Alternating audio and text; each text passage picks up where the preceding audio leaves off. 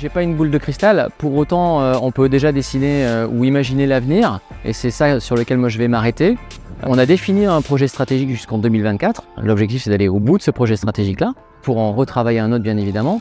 On travaille sur la croissance, bien sûr, le développement des effectifs, le développement des équipes. On est présent sur quatre territoires. C'est important de marquer ce territoire-là, d'être présent et de le renforcer pour apporter un meilleur service à nos clients. Ça, c'est le premier point.